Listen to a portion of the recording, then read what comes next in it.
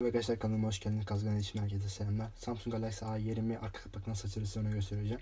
Öncelikle arka kapağınızı fön makinesi veya ısıtıcıda ısıtmanız gerekiyor. Eğer sizde şöyle bir şey varsa telefoncularda vardır. Bu soba diye geçiyor arkadaşlar. Telefon ekranını açıyor. Vakum yeri diyebilirsiniz.